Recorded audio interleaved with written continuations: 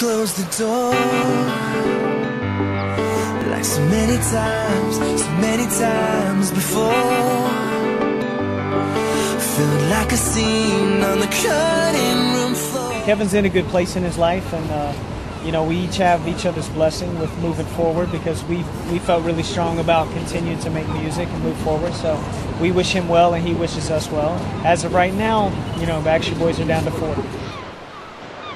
We are actually here today on the set of our first video off the new album from the Backstreet Boys called Unbreakable. Uh, this actually, this is our first single. It's called Inconsolable. I try to sleep. Yeah. The clock is stuck on thoughts of you and me. It's good to be back out and, and shooting music videos, and I think that we're all excited about the new song, and, and we're, we're having a blast out here. We're joking around with each other. It's like old times.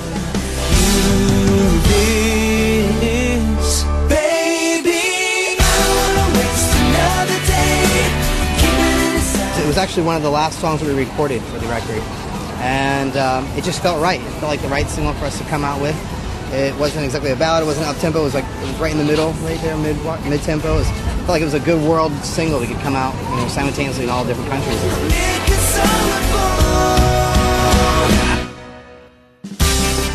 Well, the background for Inconsolable was uh, a friend of ours named Emmanuel, who's known as E-Man in the production world. Um, as you hear the production staff behind me, we are on set. Um, a guy by the name of E-Man and uh, a gentleman by the name of uh, uh, another writing team, Jess and Lindy, um, were the co-writers on Inconsolable. Um, Jess and Lindy co-wrote with a gentleman by the name of Dan Muckala, uh, the first single off of the Never Gone CD, which was called Incomplete. It's kind of funny because Incomplete was the last song that came to us for Never Gone, and it became the first single.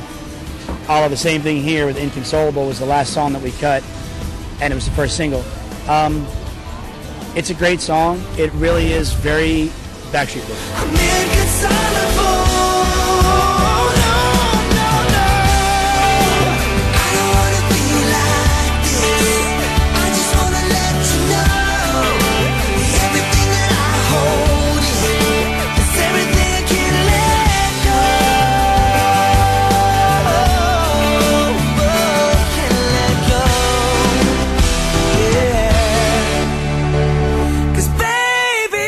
First of all, a song that was uh, hard to even understand what the hell it meant at first. I mean, I had a, I had a tough time. I had to go Google it.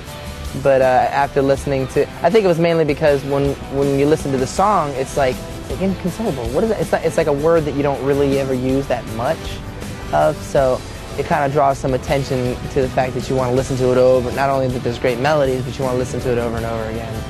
And um, I think uh, that's what happened. I just I never get tired of it for some reason. It's like it, it, it reminds me of some old Backstreet Boy songs that it just would would not go away.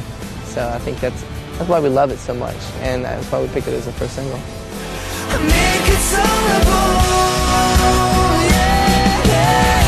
It really is us doing what we do best, um, as opposed to the last record, which is a lot more organic, more rock oriented, a lot less harmonies.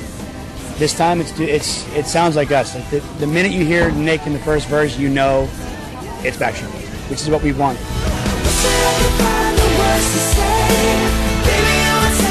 We're happy. We love the song from the very first listen, and um, you know we think it's a good interpretation of kind of where the group is, and also where we're headed in the future.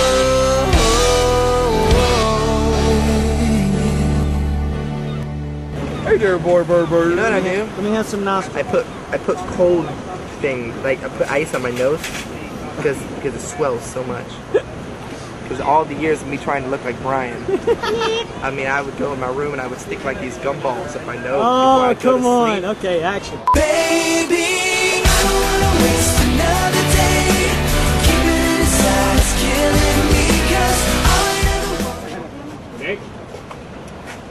All right, positions, gentlemen. Pictures up.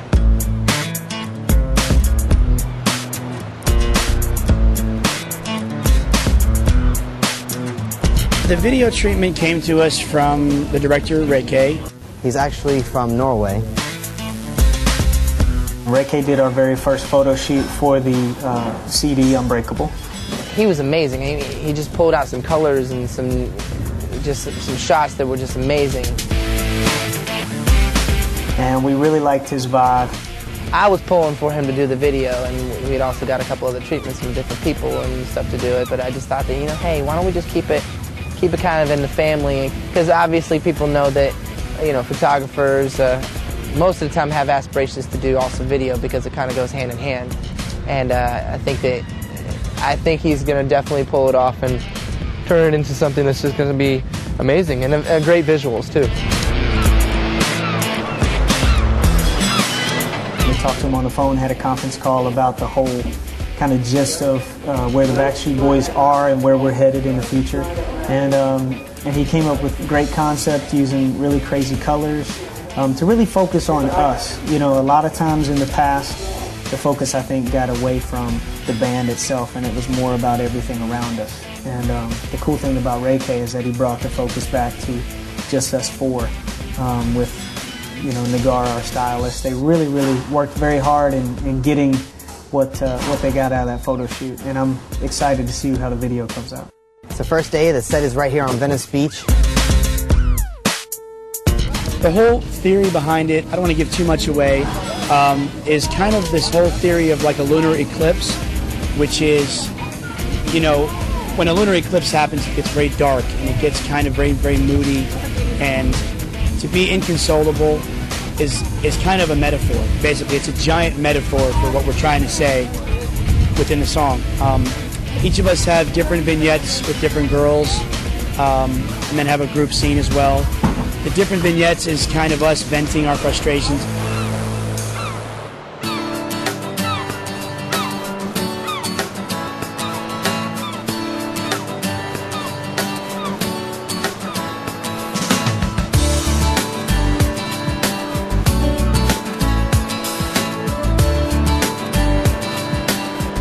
Backstreet Boys are, I don't know if we're notorious for doing certain kinds of videos, but I think we try to stick to what we're good at. But what you'll find in uh, the Inconsolable video is um, the individual vignettes, like we were talking about. You'll find us in four different locations, kind of going through some uh, the stress of a relationship, uh, maybe a little upsetting time.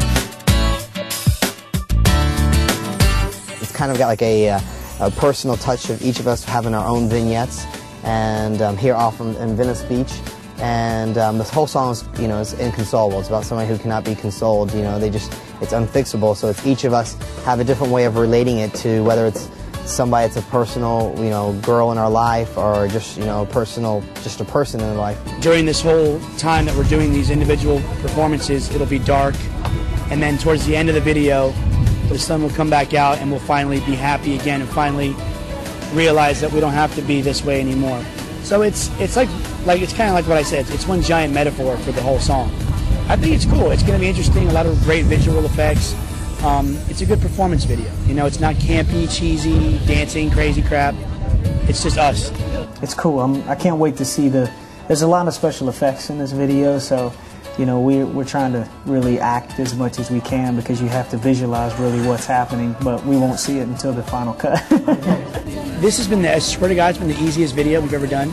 Um, the fact that I'm done right now and it's like not even dinner time yet, officially, is crazy. We were supposed to wrap at sundown and everything's been going really smooth. He's a great guy. He lets you kind of feel what you want to feel.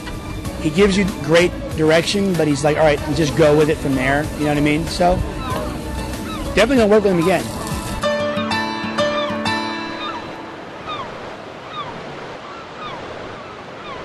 I'm happy, very happy, and, and it's it's cool to show off the new body, you know, especially on the camera. It took a little while, but it was just it was something that needed to happen.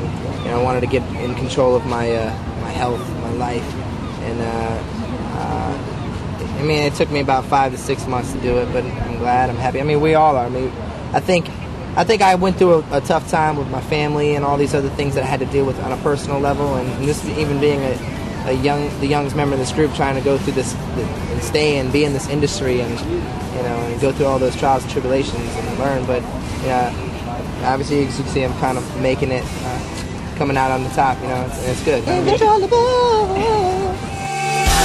always another day.